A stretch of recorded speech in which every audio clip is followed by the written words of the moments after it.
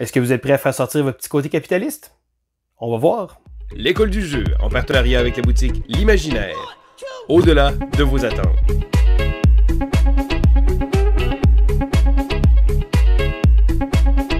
Bonjour et l'école du jeu, mon nom est Sylvain et on se retrouve aujourd'hui pour les règles et la critique du jeu Exchange. Alors Exchange est un jeu qui est sorti il y a pas très très longtemps par la compagnie Bicycle. Bicycle, Bicycle. Vous savez, à peu près la moitié des jeux de cartes qui existent dans l'humanité? Ben oui, c'est cette compagnie-là. Alors, c'est un jeu de 3 à 6 joueurs d'une durée d'environ 30 à 45 minutes. Le jeu est seulement disponible en anglais, mais sachez qu'il n'y a euh, pratiquement pas de texte, à part certaines cartes de marché qui vont être publiques à un certain moment donné et qui peuvent être regardées. Euh, ça se trouve être la seule, les seules mentions d'anglais avec quelques petites phrases. Mais encore là, c'est pas des phrases trop trop compliquées. Ceci dit, le livre de règles est encore en anglais, donc euh, désolé euh, à, ceux qui, qui n'ont pas accès à ce jeu-là. Et encore une fois, je dirais qu'aujourd'hui c'est un peu un peu trade parce que c'est pas un jeu qui a une grande grande distribution. Qu'est-ce que c'est Exchange? C'est un jeu justement de marché économique. Donc on va devoir tenter d'acheter euh, différentes actions de, différentes choses et de les revendre à gros prix. Donc habituellement c'est un type de jeu qui est représenté avec des jeux bon, que ce soit des gros jeux de train ou des jeux de, compagnie boursière, des choses comme ça. Souvent c'est des jeux qui sont assez gros. Donc la prémisse de Exchange était un jeu de, commodité comme ça, presque de marché boursier, en à peu près 30 à 45 minutes, qui se joue jusqu'à 6 joueurs. Oh, là, je suis intrigué. Bon, c'est certain, le 3 joueurs et plus rend la chose un peu plus difficile. Habituellement, moi, euh, c'est plutôt rare que je joue avec des groupes de joueurs, donc c'est certain que là-dessus, j'étais un peu hésitant. Euh, malheureusement, il y a une bonne raison pour ça. Le jeu ne pourrait pas se jouer à deux joueurs. Donc, on va aller voir immédiatement les règles, puis après ça, je vais vous donner mon avis. Voici donc Exchange, un jeu de la compagnie Bicycle. Alors, le livre de règles est assez court, donc euh, seulement quelques pages à peine. C'est pas un jeu qui est énormément compliqué. Le jeu va même nous expliquer bon euh, des, petits trucs un peu là, dont bien sûr d'acheter bas et de vendre haut. Et le, livret de règles amène un paquet de petites questions. Donc souvent, si on a des questions après avoir lu les règles, et les réponses vont se retrouver ici.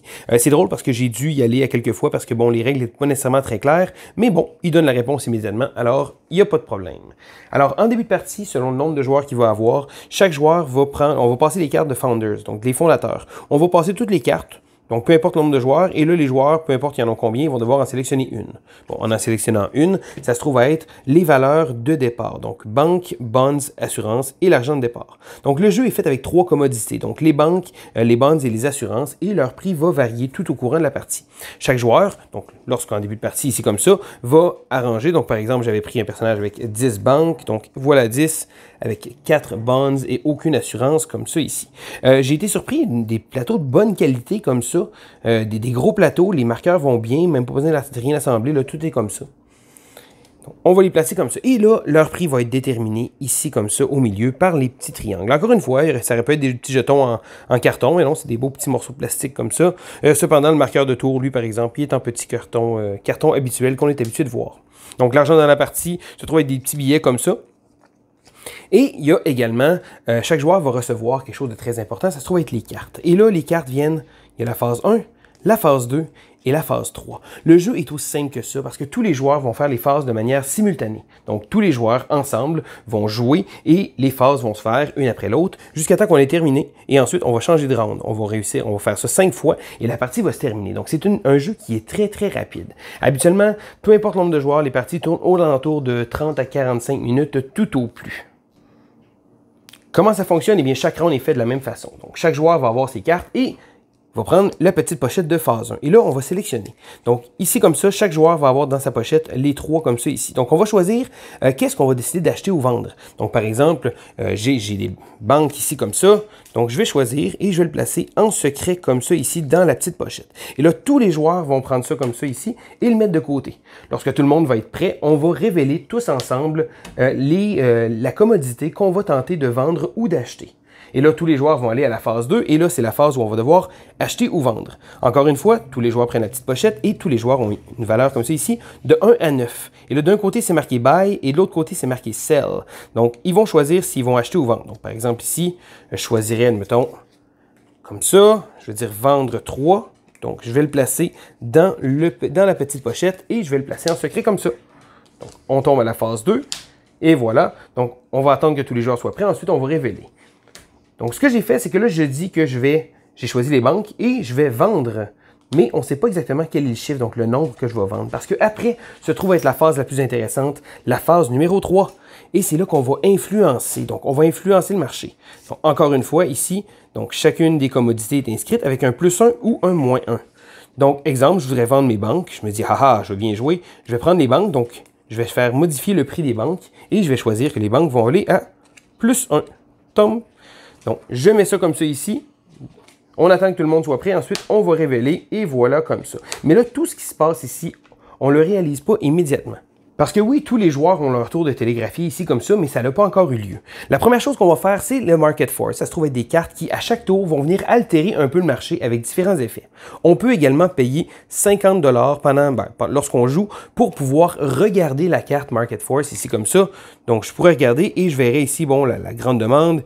Ici, il nous explique, tadam, Ici, la sécurité, donc la, commodité qui va être la plus achetée, va avoir plus 1. Et là, les cartes sont variées. Certaines cartes ne font rien. Habituellement, c'est juste All Securities plus 1 ici, les bonds moins 2, aucun effet. Donc, ça se trouve être une carte qui va venir changer un petit peu la donne, mais pas trop après qu'on ait sélectionné phase 1, phase 2, phase 3, le, marché ici comme ça, donc selon les forces du marché, et ensuite, c'est là qu'on va ajuster le marché. Donc, exemple, j'ai écrit les banques, j'ai inscrit les banques comme ça, je vais avancer. Mais ça se peut que les autres joueurs aussi aient fait changer, donc ils fait avancer ou reculer différentes commodités. Et là, après, lorsque le marché va être complètement modifié par tous les joueurs, on va pouvoir vendre. Et c'est là qu'on va révéler Tadam! Donc, j'en vends 3.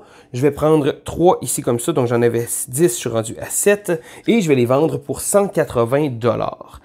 Cependant, il faut faire attention parce que ça se peut que le prix monte.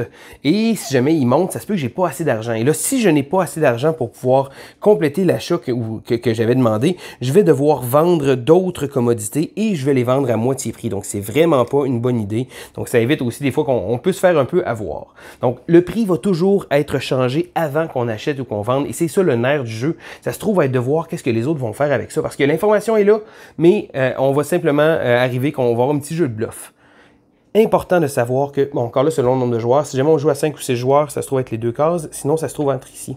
Lorsque, exemple, les assurances sont rendues ici, et vont monter de plus 1. Donc, elles valent 80, mais elles vont retourner en arrière, et ça va valoir seulement 20. Ou encore 10 si jamais on joue de, de 5 à 6 joueurs. Même chose, si jamais une commodité recule, eh bien, elle va passer de 20 jusqu'à remonter jusqu'au bout. Donc, ça peut être vraiment très important de, de, modifier les chiffres et même si on essaye de vouloir les vendre à haut prix et, euh, exemple, il est ici, je vais peut-être essayer de reculer, sauf que si un autre joueur a décidé qu'il faisait plus 1, eh bien, ça va faire en sorte que, bon, plus 1 et moins 1, donc je vais les vendre vraiment pas cher. Et là, on va devoir essayer de lire un peu les autres joueurs autour de la table. Et là, après le premier tour, il y a quelque chose qui arrive en ligne de compte, c'est le lobbyiste. Alors, le lobbyiste se trouve être une petite carte comme ça qui va rajouter trois cartes d'influence, donc des plus un un qu'il y avait tout au courant de la partie. Et là, qu'est-ce qu'il va faire? Eh bien, le joueur qui a le plus d'argent va récolter le lobbyiste. Et oui, c'est un jeu très capitaliste. Donc, ensuite, le lobbyiste, ce qu'il va faire, c'est que pendant la phase d'influence, il va pouvoir modifier également de, plus un ou de moins un euh, la valeur de certaines commodités. Mais ça va être une espèce de, Ça va être très utile parce que pendant la partie, Influencer le marché se trouve être le nerf du jeu. Donc, réussir à avoir euh, ce qu'on veut pour pouvoir acheter à bas prix et pouvoir revendre à haut prix. Donc, on va y aller comme ça ici pendant 5 tours et à la fin, il va avoir un market close. Alors, tous les joueurs euh, vont avoir l'occasion de pouvoir jouer une dernière fois une carte d'influence pour modifier le marché. Encore une fois, soit d'essayer de s'avantager ou d'essayer de faire cracher les autres joueurs. Donc, à la fin de la partie ensuite, qu'est-ce qu'on va faire? Eh bien, on va tout prendre les commodités qu'on va avoir accumulées au courant de la partie et on va tous les vendre au prix du marché. Donc, à la fin de la partie, il y a toujours, toujours, toujours un dernier tour où tous les joueurs vont essayer de, changer les choses pour aller bien de leur côté ou contre les adversaires. On récolte l'argent et le joueur avec le plus d'argent va remporter la partie. Et voilà, ça fait le tour des règles de Exchange. Maintenant, qu'est-ce que je pense de ce jeu-là? Donc, premièrement, j'étais vraiment surpris parce que la durée du jeu est vraiment ce qui est écrit sur la boîte. Bon, la boîte dit 35 euh, minutes.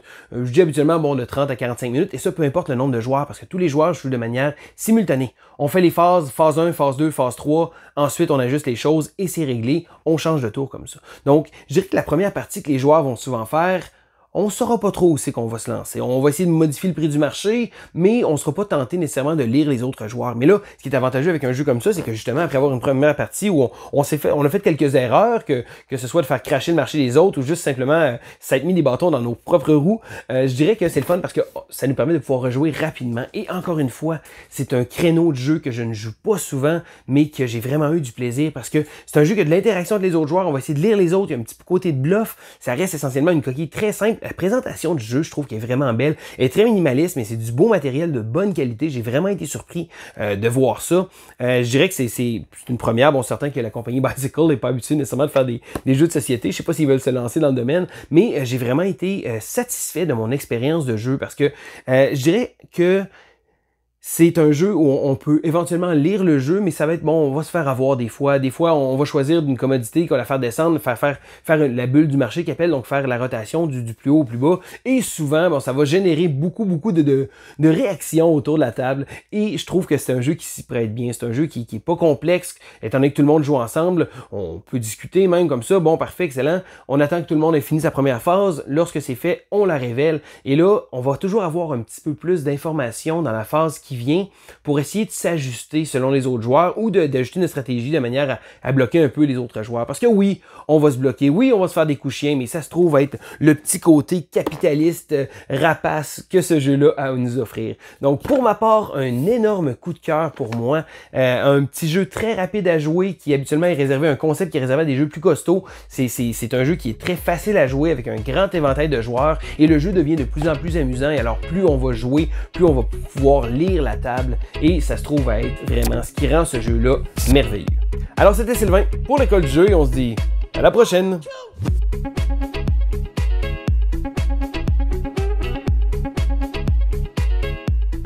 J'ai juste une chose à dire.